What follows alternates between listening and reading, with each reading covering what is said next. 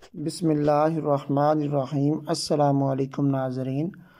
آج میں آپ کے لیے نبی کریم صلی اللہ علیہ وآلہ وسلم کی ایک حدیث مبارک لے کر آیا ہوں۔ اچھے اخلاق کے متعلق حضرت ابو داود رضی اللہ تعالیٰ عنہ سے روایت ہے کہ آپ صلی اللہ آپ صلی اللہ علیہ وسلم نے انشاء فرمایا، انسان اچھے اخلاق سے دن بھر روزے رکھنے اور رات بھر نماز پڑھنے والے شخص کا درجہ حاصل کر لیتا ہے۔ جزاک اللہ۔